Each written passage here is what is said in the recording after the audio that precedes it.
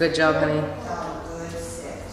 Good sit. So I'm a big Nice distraction. short leash, nice short leash, get right next to him. There you go. There you go.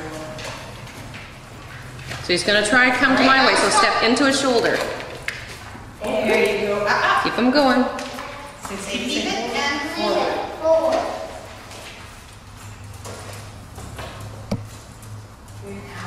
Stop. Stop. Look. I mean, sit. Sit. Good boy.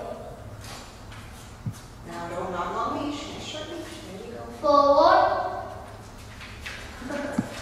So with the short leash and the long leash, you can think I'm bringing my dog with me.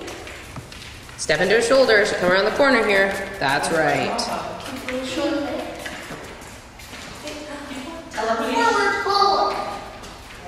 Say, good boy, good boy. Always tell him when he's doing a good job too. Stop.